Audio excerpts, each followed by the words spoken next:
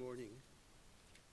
The reading this morning is taken uh, from Isaiah. It will be the entirety of chapter 60, uh, verses uh, 1 to 22, um, and it can be found on page um, 748 um, in the Old Testament sections of the Bible.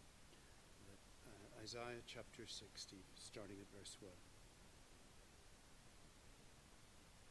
Arise, shine, for your light has come, and the glory of the Lord rises upon you. See, the darkness covers the earth, and thick darkness is over the people. But the Lord rises upon you and his glory appears over you. Nations will come to your light, and the kings to the brightness of your dawn. Lift up your eyes and look upon you. All assemble and come to you. Your sons come from afar, and your daughters are carried on the hip. Then you will look and be radiant your heart will throb and swell with joy. The wealth on the seas will be brought to you.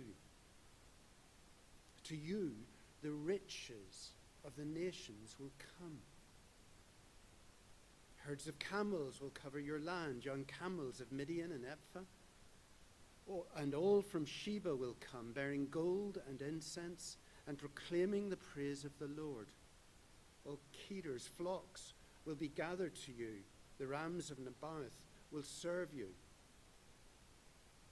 They will all be accepted as offerings on my altar, and I will adorn my glorious temple.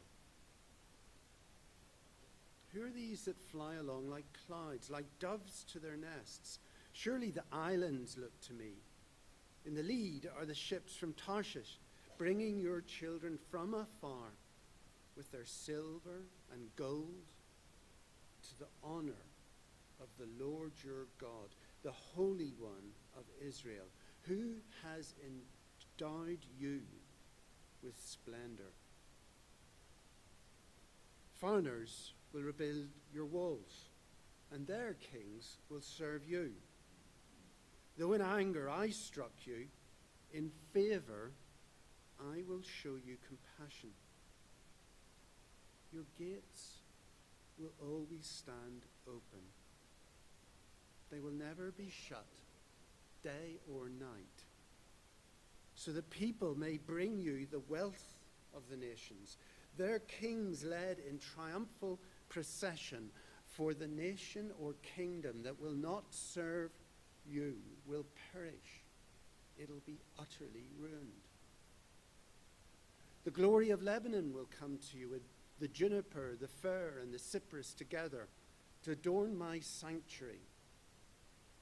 And I will glorify the place for my feet. The children of your oppressors will come bowing before you. All who despise you will bow down at your feet and will call you the city of the Lord, Zion of the Holy One of Israel. Although you had been forsaken and hated, with no one traveling through, I will make you the everlasting pride and the joy of all generations. You will drink the milk of nations and be nursed at royal breasts. Then you will know that I, the Lord, am your Savior, your Redeemer, the mighty one of Jacob. Instead of bronze, I'll bring you gold and silver in place of iron. Instead of wood, I will bring you bronze and iron in place of stones. I will make peace your governor and well being your ruler. No longer will violence be heard in your land, nor ruin or destruction within your borders. But you will call your walls salvation and your gates praise. The sun will be no more, well, sorry, the sun will no more be your light by day, nor will the brightness of the moon shine on you.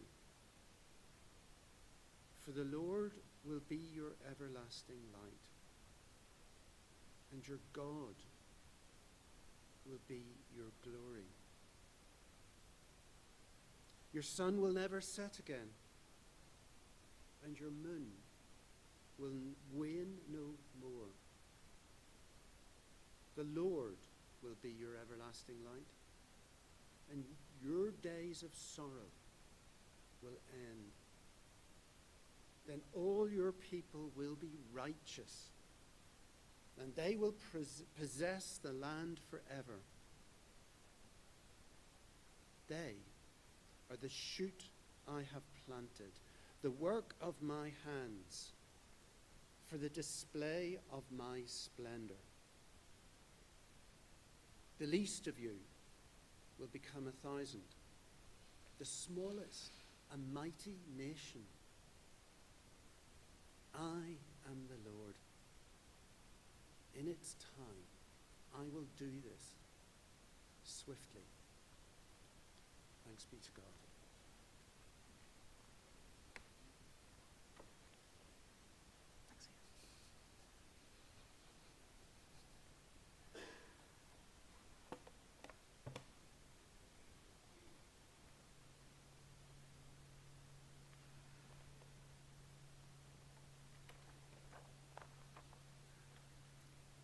After listening to uh, Ian read.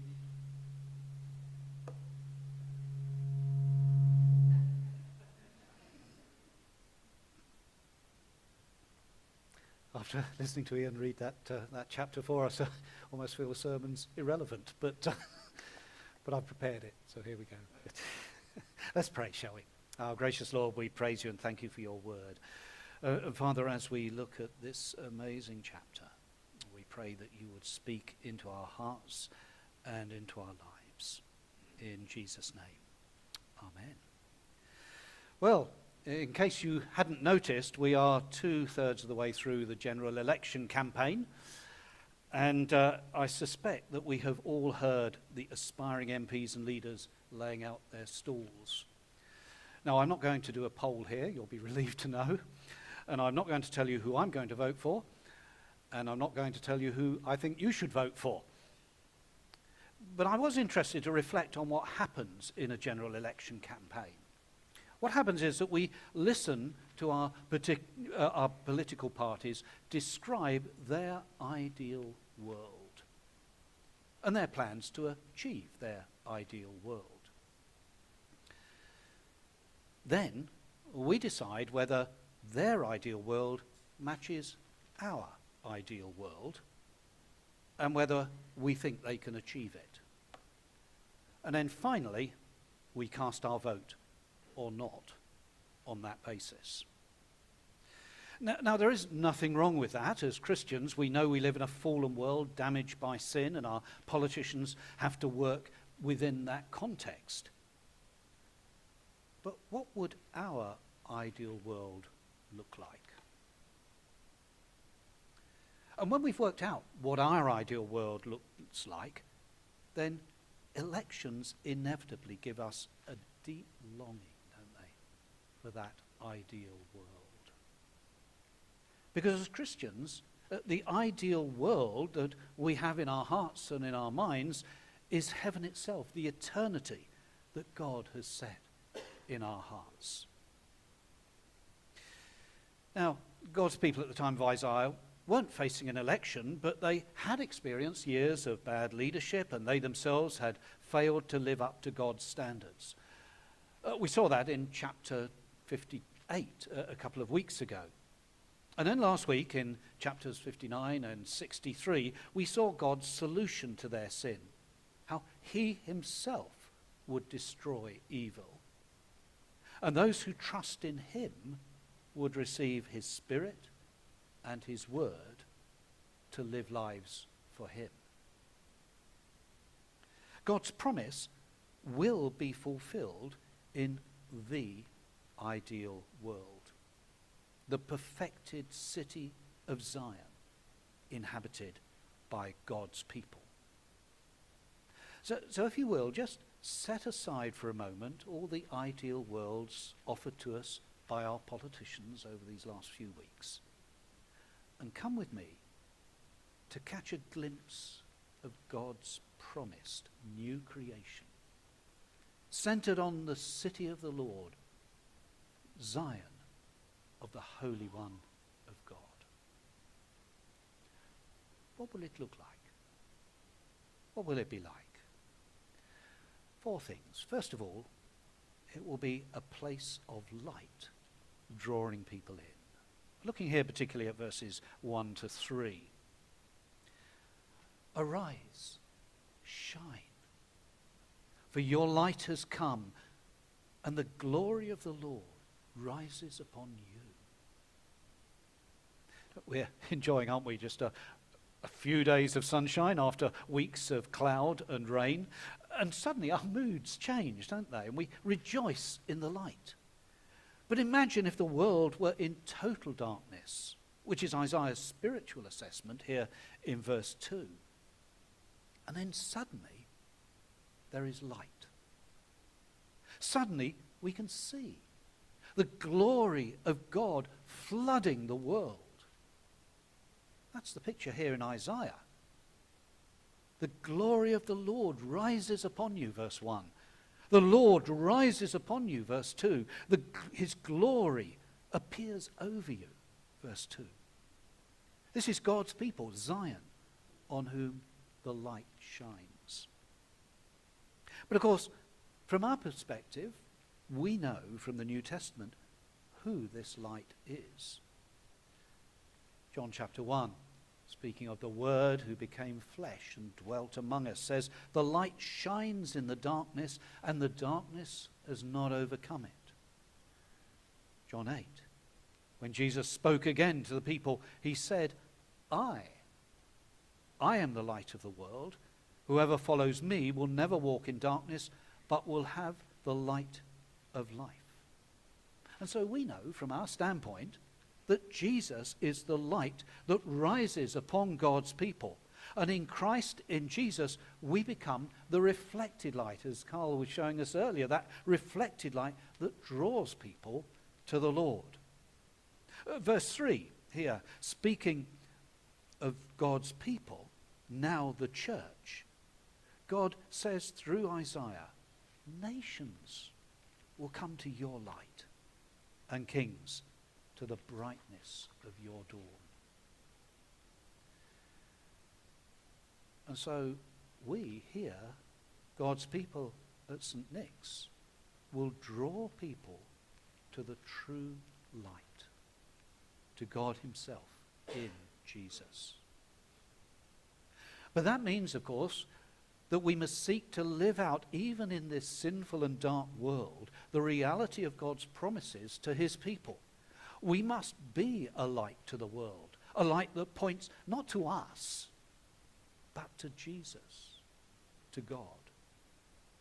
And our task as God's people here is to reflect that light out into the world. It's a place of light, drawing people in. But secondly, it's a place of variety with all that is good in the world. And we're looking particularly at verses 4 to 9, although this comes right the way through the passage. And the picture here in Isaiah 60 now moves to this new city, this Zion, the people of God. And God says, Lift up your eyes. Lift up your eyes. Look about you. Let your hearts throb and swell with joy. See the people flooding towards you, says God. Sons from afar, daughters carried on the hip, verse 4. The, sa- the ships with sails like clouds, bringing your children, verse 9.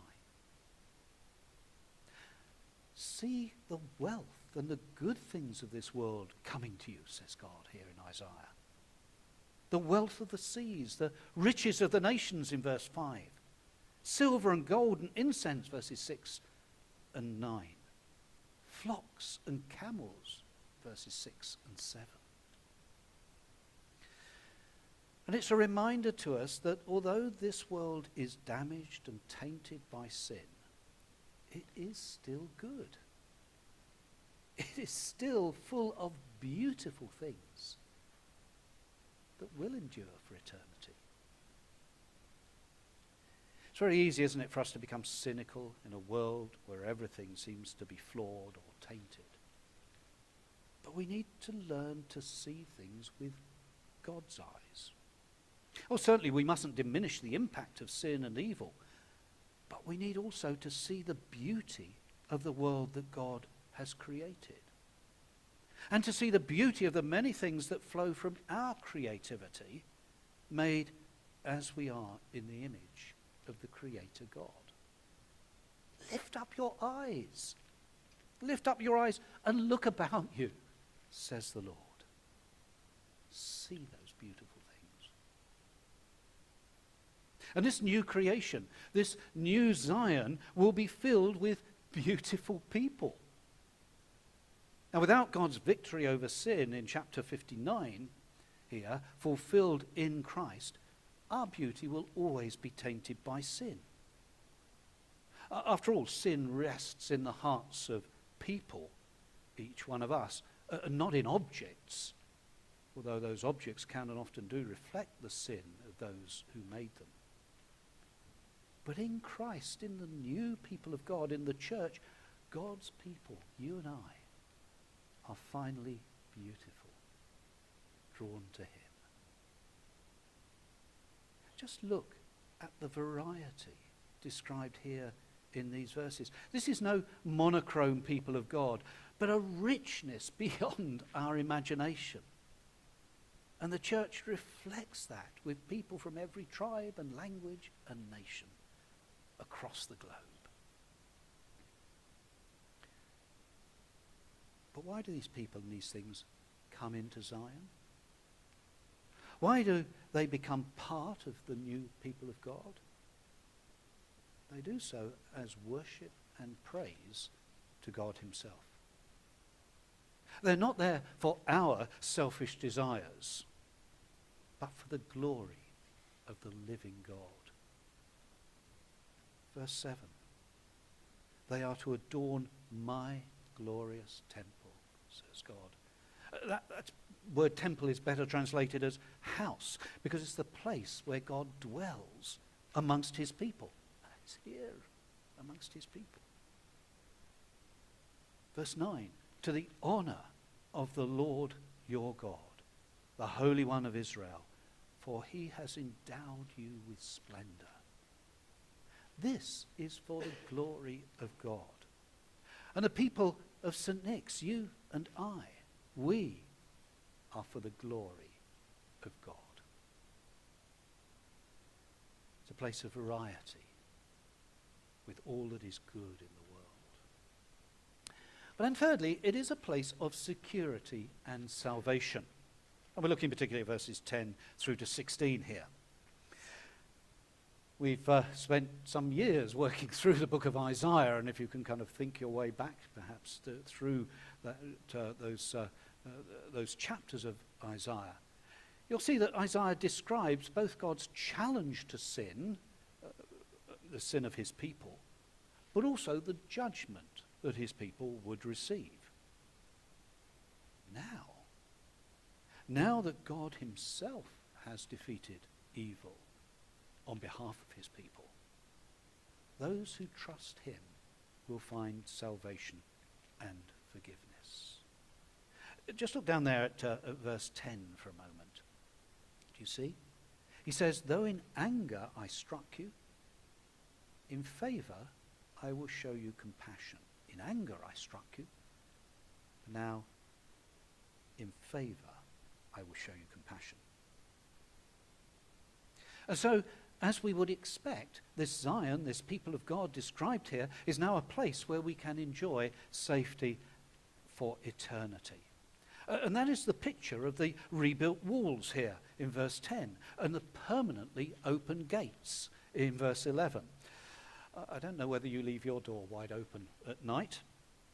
I suspect not, because it's not safe. But there, in the new city of God, we will be safe. Linda and I were walking back to uh, one of the car parks in Bath, in the centre of Bath, about uh, 10 o'clock last Wednesday. And I have to say, we did not feel safe. Bath is a beautiful city. It's not the city of God, but it is a beautiful city. But it is not a safe city. And we felt that same thing walking around other cities, and I suspect that is your experience as well. Don't we long for safety and security? But the city of the Lord is safe because it is the place where God meets with his people. It's the place for his feet, as we're told in verse 13. That is the church. And the church is a safe place because it is a place of salvation. Do you see the walls here are walls of salvation? The gates are gates of praise. And we need to reflect that in our relationships together as a church. No more judgment. No more oppression. No more insecurity. And as we experience that, and as others experience that amongst us, then Psalm 16 says, Then you will know that I, the Lord, am your Saviour, your Redeemer, the mighty one of Jacob. You see, how we live out our relationships as church demonstrates to the world that the Lord is our Saviour and our Redeemer. It's a place of security and salvation. But finally, it is a place of transformation. When we moved into our new home, when I retired, the kitchen needed changing. It, it was functional, and uh, I think the lady who lived there uh, hadn't changed the kitchen in 30 years, maybe even 40 years. So it was functional, it did its job. But the wooden cupboards and the old surfaces needed something different. Uh, they had had their day, but they were no longer appropriate for a new situation, new inhabitants. And that is exactly the picture we have here, isn't it, in Isaiah 60. So we have a description of God changing things. If you've got a Bible open, do you, do you see there in verses uh, 17 and 18 in particular, but uh, right the way through that last section, do you see um, how often it says instead of? In place of, no longer, no more. This is total transformation. Gold for bronze, silver for iron, bronze for wood, iron for stones. No more violence or destruction, but peace as your governor. And it says that, uh, that the Lord, you have no longer any need of the sun because the Lord is your light. Verse 19. There is no more sorrow. Isn't that wonderful? No more sorrow. It's echoed in Revelation uh, chapter 21, um, where, uh, uh, where uh, John hears these words He will wipe every tear from their eyes. There will be no more death, or mourning, or crying, or pain for the old order of things has passed away. In every way, this Zion, this city of the Lord, will be transformed. And above all, its inhabitants, you and I, we will be transformed. Uh, someone once said that uh, communism sought to put a new coat on every person. But Christianity puts a new person in every coat. And that is the problem, isn't it, with every political ideology, every ideal world. Until you change the human heart, you cannot transform the world. But this picture here is of a transformed world with a transformed. Just look at verse 21. Then all your people will be righteous, and they will possess the land forever. They are the shoot I have planted, the work of my hands for the display of my splendor. This is God's work. And the church, us, we, are God's work. I am not very good at gardening. I confess that. I stand before you and confess I am not very good at gardening. I don't really know which plants work best in which places in the garden. But as one writer says, God is the divine gardener. He knows exactly who to plant where, how to grow the shoots he has planted. He's planted you and me here. And we need to let him do his work in us, to plant us, to grow us, to let him transform us by his word impacting us and by his spirit at work within us. Now, of course, we're uh, tempted to say, but we're, we're only a tiny congregation. You know, the world is so much bigger. The world pokes fun at us, it derides us, it, uh, it laughs at us, it uh, thinks that we're hopeless. How can we possibly display God's splendor here? Get real. And God says to us, no. No, you get real. Verse 22. The least of you will become a thousand, the smallest a mighty nation. I am the Lord. In its time, I will do this swiftly. We have no excuse. No excuse. We are the people that God has put here for the display of his splendor. And so our lives individually and together need to demonstrate, as transformed people, the transformed people that we are, God's splendor to the world. Because our light has come, and the glory of the Lord has risen upon us in Jesus.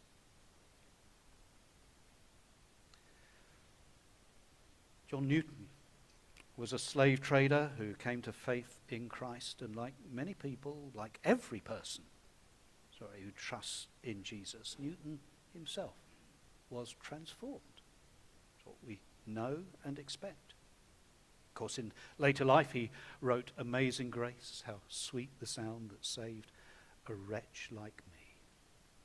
But he also wrote the hymn, Glorious Things of Thee Are Spoken, Zion, City of Our God, and although it's based on, Psalm, uh, uh, based on Isaiah 55, it echoes so much of what we've just read in Isaiah 60. Let me just read to you two verses, the first verse and the last verse. Glorious things of thee are spoken, Zion, city of our God. He whose word cannot be broken formed thee for his own abode on the rock of ages founded. What can shake thy sure repose? With salvation's walls surrounded, thou mayst smile at all thy foes. And the last verse. Saviour, since of Zion's city I, through grace, a member am, let the world deride or pity I will glory in thy name. Fading is the worldling's pleasures, all his boasted pomp and show, solid joys and lasting treasures. None but Zion's children know.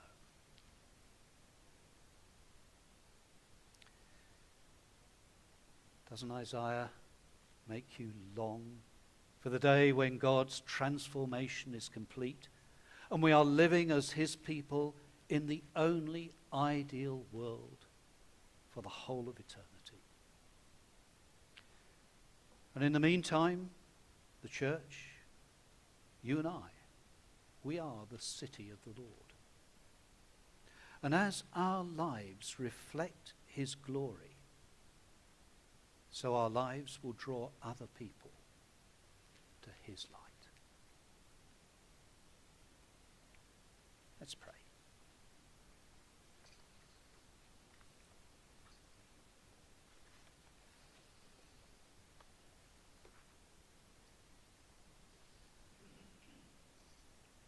Gracious Father, as we come to you, just amazed, astounded at these incredible descriptions of the church, of us, of what in some measure we are and what we ultimately will be. Father, help us to live this out in our lives. Help us to let you, by your word and by your spirit, continually transform us and help us to reflect your glory to the world in order that you may draw many people to yourself. Help us to do that this week in Jesus' name.